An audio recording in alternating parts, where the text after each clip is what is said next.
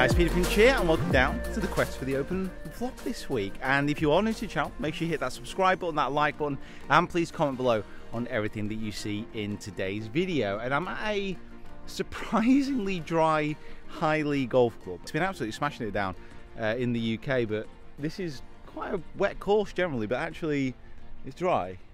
I'm a little bit kind of confused about what's going on. It's been a busy week. Um, I was down south a few days ago, which we'll speak about in a minute because it's a brand new video series. But I've been up here having a lesson with Dan talking about pre-shot routine and exactly what I need to start doing on the course and just reminding myself of stuff I already know. And I mean, pre-shot routine is one of those things which I think most people know what it's about, but actually to go through it, to focus on it and to do it properly, that's another thing.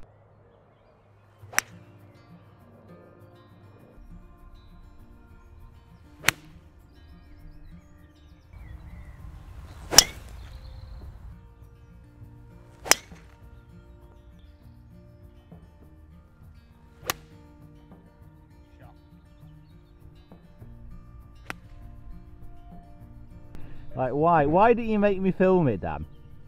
Me make you film. You meant you meant to be my coach. You meant to be like teaching me all the ways. Chipping a chipping eagle. YouTube how to teach to film for YouTube. I was hoping you wouldn't notice that, but that was a that was a chipping eagle. Okay, chipping eagle, chipping eagle.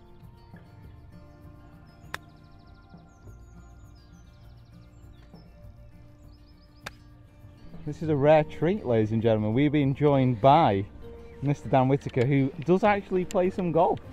Do you own a set of golf clubs? Perfect. Tell you what, that is the best miss that you could have had. That's what happens when you hit it out of there.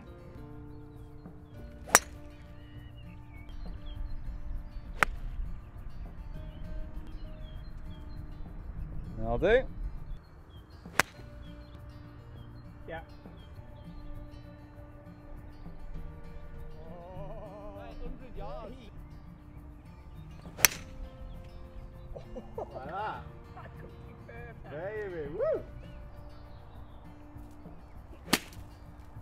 Oh, nice.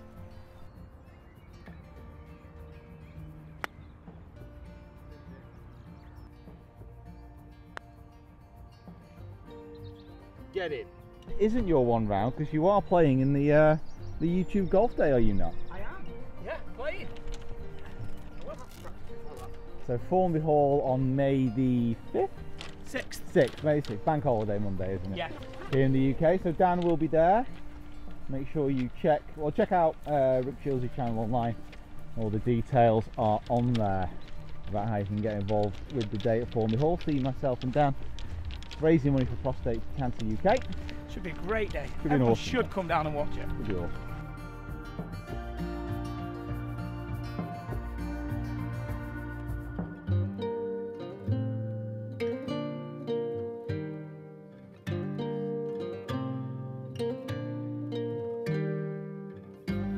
So a couple of days later, down at Crosland Heath, which is near Huddersfield, and boy oh boy, it is a beautiful day. Uh, don't let the hat fool you, it is, no, let the hat fool you. No, the hat's a confirmation that it is still a little bit chilly, but I have to say this course, I feel this course owes me something from last time. I played well, but just could not get a score going at all, so hopefully this year Also, think I found a little secret. Had a mouthful of falafel wrap as well at the same time. I mean, always learning.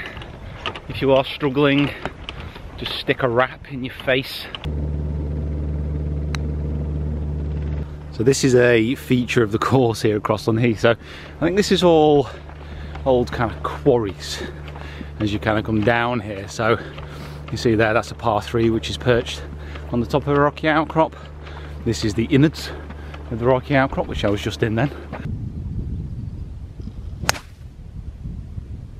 And that's what you see when you actually get up here. So all around this area are all mill towns and a lot of Yorkshire's all mill towns, a lot of Lancashire's all mill towns as well. And this is just perched right on top of the heath. If it's like this tomorrow, I'd be surprised. It is beautiful weather. I'm almost down to one layer now and it is like no wind no wind it was a lot windier here last time so in my head, that's what I'm actually planning to expect, a lot more wind, but it's like this. Oh, yes please. Right then, comp is over. Uh, just got back home. Let's have a little bit of a look um, through these stats. So I shot 5 over, uh, which is a 76 around Crosland Heath. And oh, oh my. Um, yeah, my putting was interesting. Uh, from a putting standpoint, I lost 4.7 strokes uh, against Pro Baseline, uh, which is, I think, actually probably better than it deserved. I was not um, not very good. However, to put it in perspective, so that score, so six over, that actually puts me tied 18th out of over 80 players who played today.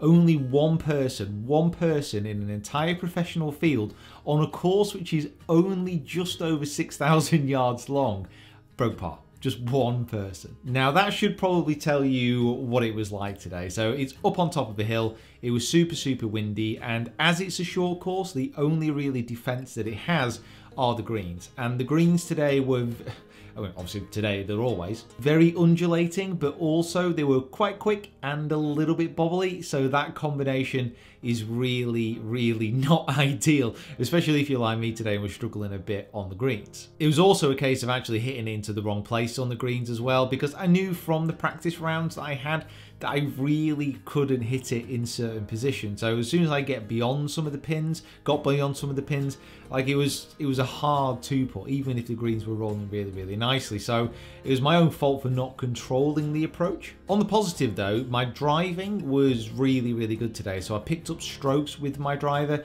and to be honest, I very rarely missed a fairway. And if I did miss the fairway, it was only by a very, very small amount. It was just the fact that I wasn't quite striking my irons as well to get it in a good position, and then that horrendous putting.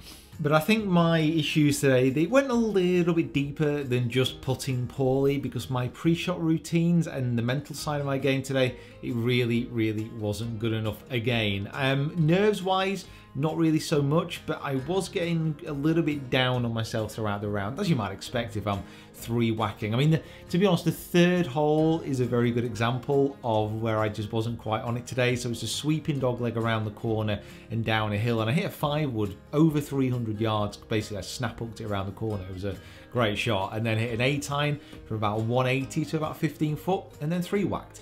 And it wasn't a good three whack. It was like just past the pin, and I missed like a two footer. Now, that was a loss of concentration, so I just didn't read the putt, I just settled to it and whacked it and it missed. And that straight away put me a little bit on edge.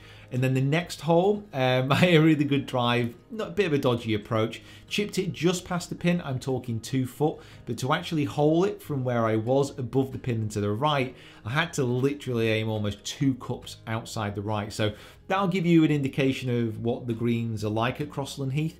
I imagine in the summer they would be terrifying at times. So that mental side of the game, again, needs work. And I know it needs work and I've not been working at it hard enough. It's as simple as that. So I've been putting more time and more energy into my technique and that is showing through outside of competition play. So when I'm not playing in events, FSX Skills Challenge and, you know, the stuff when I'm just vlogging, that is great and I'm hitting it really well. But in competition situations where it matters for the Quest of the Open, it's not quite there yet. So yeah, double down on the mental work. That's got to be number one. And then on the short game as well. Got to tighten up the full swing. I've basically got to work on everything. There's no secret there, but definitely this might shock you. Uh, golf is a lot to do with the mental side of things. I'm not sure if you've heard that before, that a lot of it's played in between the ears. I'm sure a good golfer said that once upon a time. But get this edited and head down south tomorrow. So filming with Rick, the Golf Bit of Challenges. I know you're probably going to be quite excited about that. So comment below if you are, let me know. And yeah, we'll see you next time. Guys, I just want to say thank you so much for watching. Uh, follow me on this journey. Hopefully with the Quest for the Open stuff, you are learning as I am learning about how to prioritize what I need to do in practice. And for me, it is definitely what's going on up here. So guys, thank you so, so much for watching or what's not going on here. Uh, subscribe to the channel if you haven't already. Follow me on my other social media platforms as well. And we'll see you down here next time. Okay. Ah.